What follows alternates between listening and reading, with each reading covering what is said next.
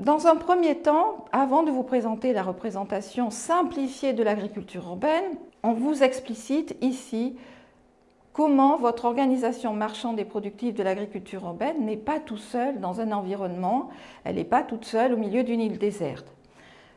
Donc déjà, dans un premier temps, pour construire son outil de production, elle a affaire à des fournisseurs qui peuvent être des semenciers, des fournisseurs d'électronique, des fournisseurs de matériel, des séristes, des fournisseurs de compost. Et avec ces fournisseurs, elle va entretenir des relations qui vont être nécessairement des relations de confiance pour qu'ils puissent vous donner, vous vendre euh, euh, vos, matières premières ou vos agroéquipements.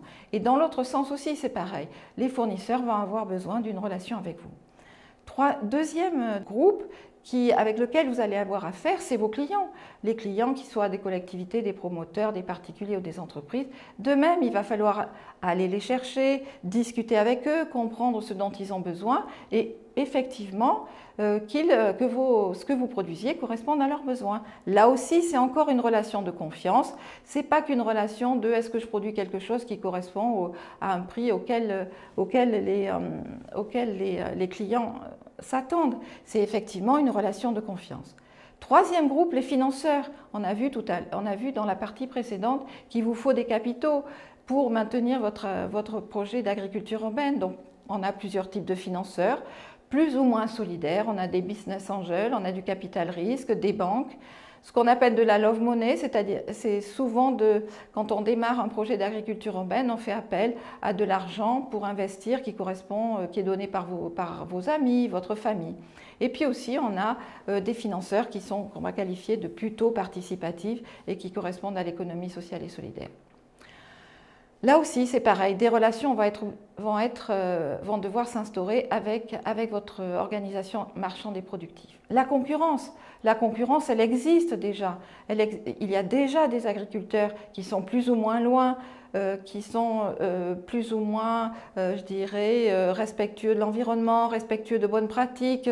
on a des agriculteurs qui sont, on a des agriculteurs qui sont bio, qui sont en biodynamie. Tout, ceci, tout ça existe déjà, donc il va falloir que vous proposiez à, votre, à vos clients quelque chose qui se différencie par rapport à la concurrence.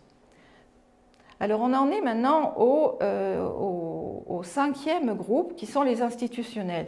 Que sont les ce qu'on appelle les institutionnels? C'est l'État, les municipalités, le monde de l'agriculture qui existait déjà, les chambres d'agriculture, la SAFER, les, organisations euh, euh, non gouvernementales, l'interprofession.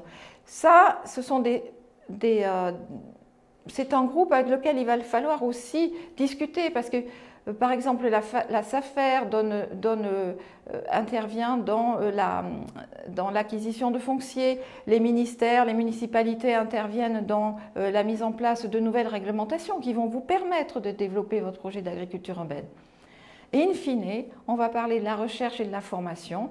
Alors cela va du lycée, du lycée agricole aux écoles supérieures, aux organismes de recherche, qui sont là à la fois, qui peuvent vous fournir ben, des compétences, des savoir-faire, des connaissances, ou aussi de la main-d'œuvre, telle des stagiaires ou des doctorants ou des postdoctorants, qui vont vous aider à développer euh, votre projet d'agriculture urbaine.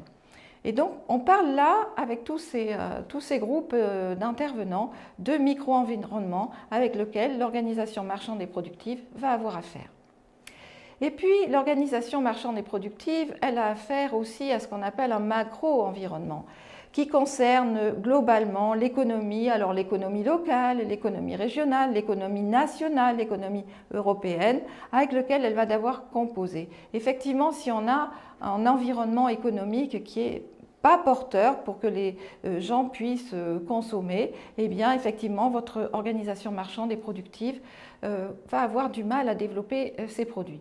Donc je ne vais pas m'apesantir et, parler de tout, de tout ce qui concerne ce qu'on appelle le macro-environnement, mais si je parle de, des technologies, il vous faut des technologies parfois, qu'elles soient, on va, on va, le voir plus tard, qu'elles soient low-tech et high-tech, il, faut qu'elle vous soit accessible. Donc effectivement, sans ce macro-environnement, vous, vous allez avoir des difficultés à développer euh, votre, euh, votre organisation marchande et productive.